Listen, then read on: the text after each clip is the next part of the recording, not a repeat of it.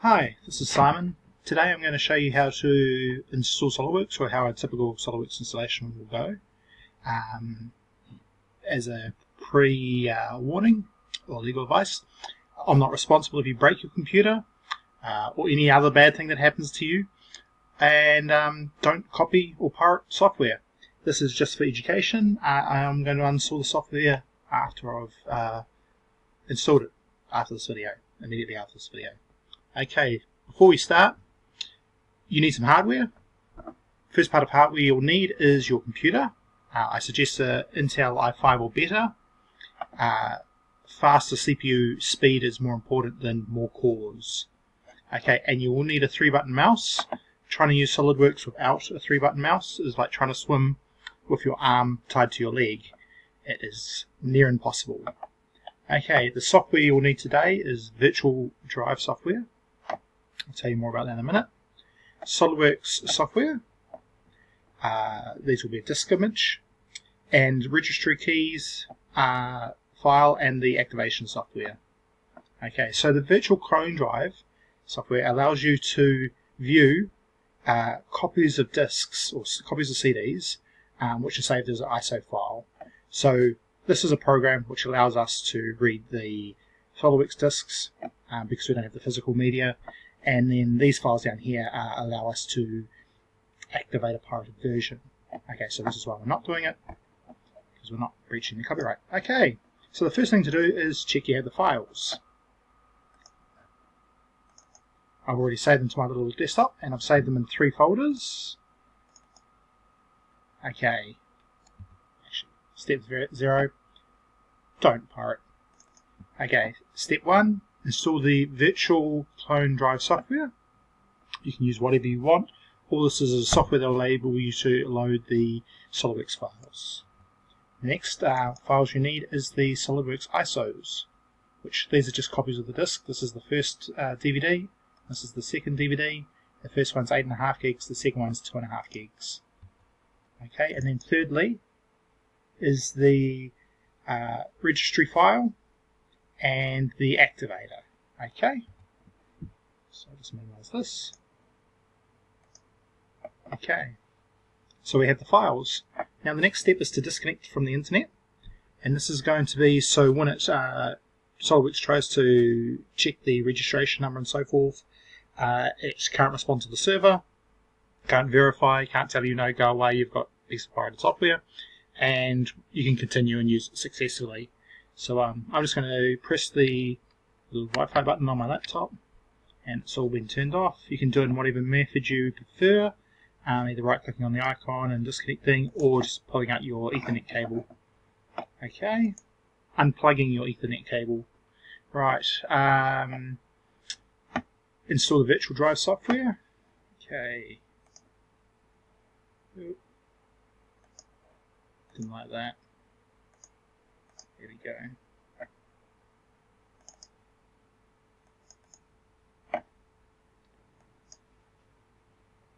Okay. Blah blah blah blah blah. You can read it if you want. We always click agree as anyway.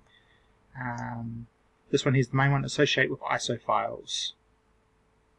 Next still. This one you pretty much just click next, next, next, finished. Um, close. Okay, so that's the first step done. Second step done. Right, and still virtual clone drive software. Registry key file. Okay, and then uh,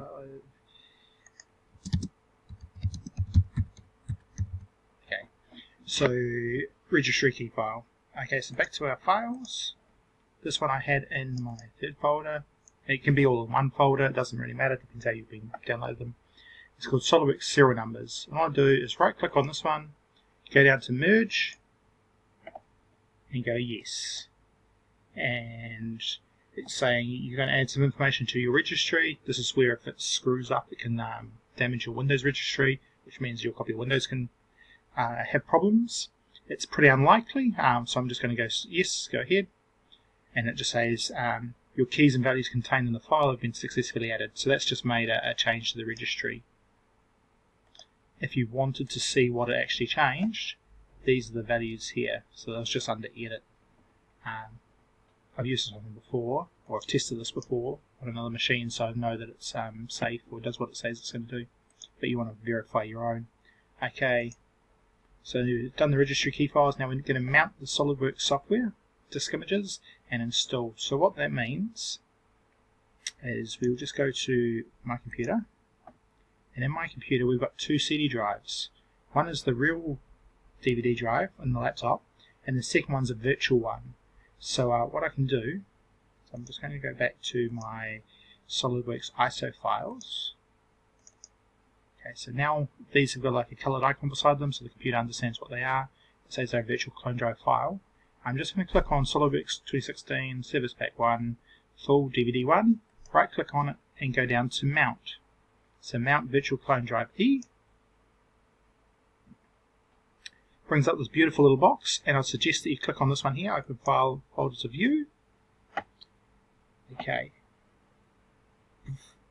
I'm just going to take you off slightly off scene to just so you understand what just happened and then um but don't follow the step yourself.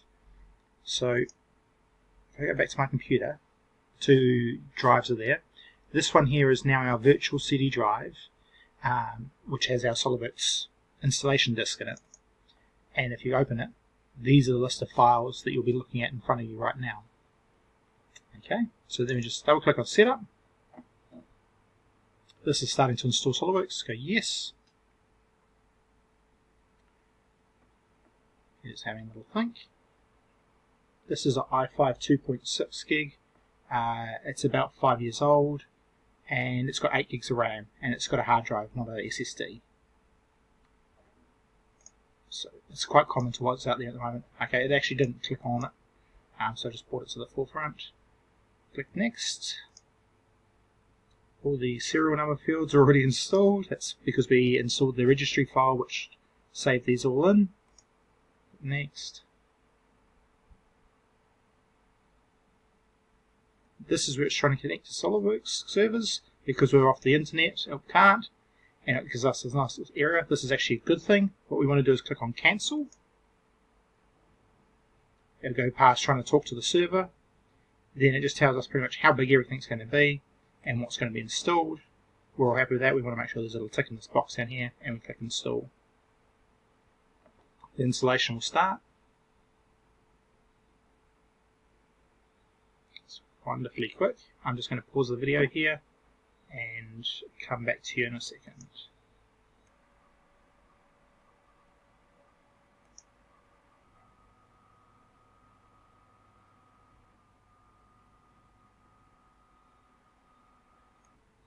Okay, so the installation's been ticking along. It's taken about 10-12 minutes so far, and it's come up with this little dialog box asking for CD disk 2.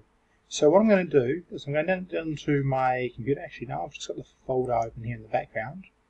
Computer, blah blah blah, SolidWorks disk 1. So I go back to my computer, right click on the, the SolidWorks disk, and I go eject. Now nothing actually happens on the computer apart from the icon changing because it's not a physical CD, it's the virtual CD. Now I'm going to go back to my files. These are the SolidWorks files that I've downloaded. Uh, right click on this 2, go down to mount.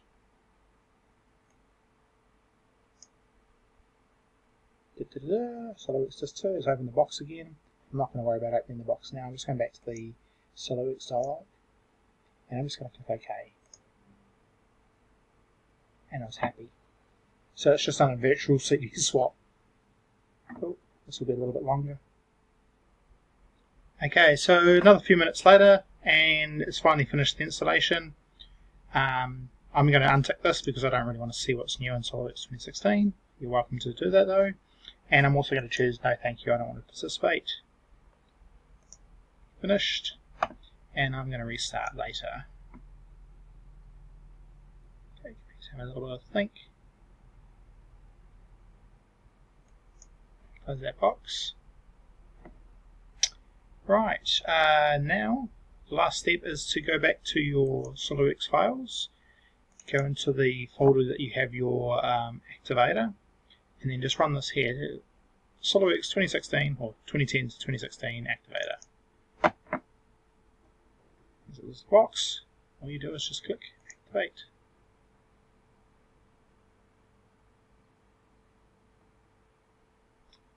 And yep, it's doing something. There we go, it's got a little dialog window up.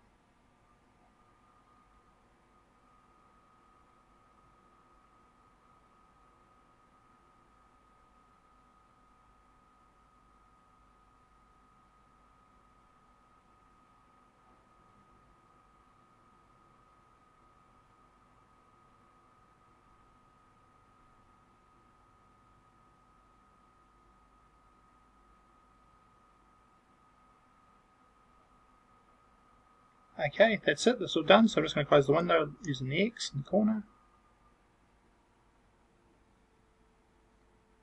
Okay, pretty sure that was all done, but maybe not. Let's see what's happening. Oh, there we go. Okay, it's popped the little box. Now we just go okay. Okay, so that means I'm all done. So I'm going to right click, this has gone back to my computer, right click on the virtual drive and inject the um, disk. Right. So, so far we checked the files, disconnected the internet, installed the software, registered the files, mounted the SOLIDWORKS disks and we installed them. And we activated the software. Just going to prove that. L1. Okay, so finally searching for everything it's got. Okay, this is the one we want to use here when we use SOLIDWORKS, SOLIDWORKS 2016 X64 edition.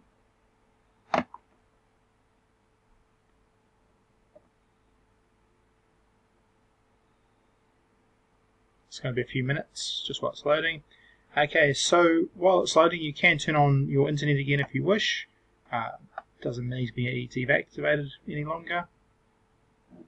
You can also uninstall the virtual clone drive if you won't use that software again. And um, I'm also just going to go and uh, uninstall SOLIDWORKS as well. this computer really needs some love. It's um, well, yeah, literally five years old six years old now, so it's past its use by date.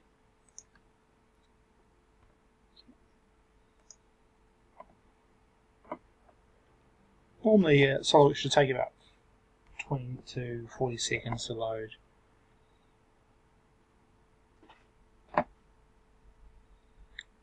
On older computers, it generally works um, better on Windows 7 as opposed to Windows 10. Windows 10 seems to run like a dog uh, on an older computer, but each their own. Okay, so that's SOLIDWORKS. And yes, starting a parts document. When parts document, just prove that it works.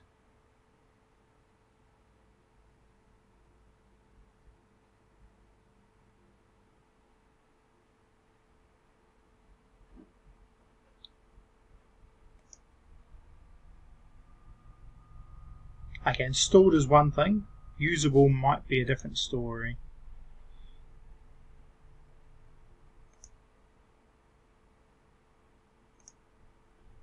Okay, no, that seems very usable. Okay, cool. Have a lovely night.